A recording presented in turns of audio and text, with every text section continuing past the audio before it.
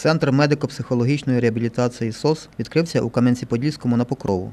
За місяць роботи дефіциту у клієнтах немає. Серед них і Олександр Боднар переконує, за тиждень відчув покращення. Приписав ліки, які я от пропив вже більше тижня, якби це, і краще, краще став себе почувати.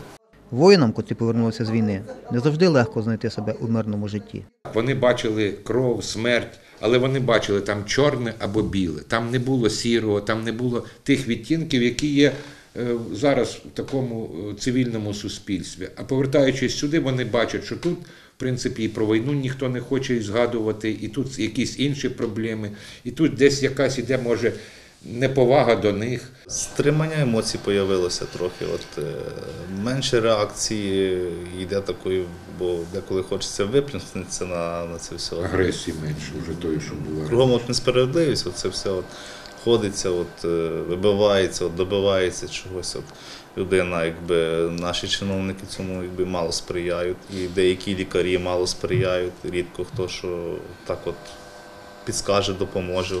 Найважче кажуть витримати бюрократію, а то відкриту байдужість чиновників. той чиновник, ну він завжди був і в Африці чиновник, і, і, і завжди буде лишатися е, тою людиною, якій глибоко паралельна чиясь проблема. Але я завжди казав, якщо після Афгана хлопці приходили там і на якійсь комісії, пам'ятаю, там нам розказували, що на медичній комісії там е, сказав хтось з докторів, що я тебе туди не посилав, що ти мов там требуєш якісь пільги. Він взяв і розбив у нього на голові е, графін з водою.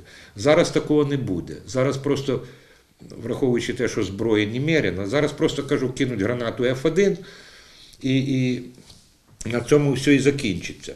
А проблеми з адаптацією у суспільстві призводять до зловживання алкоголем. Буквально от на днях в мене було двоє хлопців.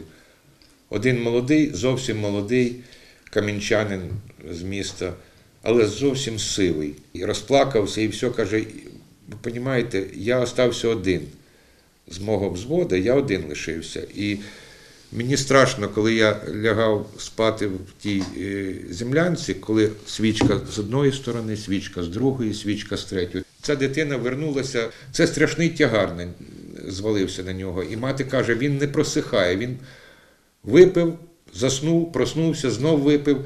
Ну, вдалося витягти.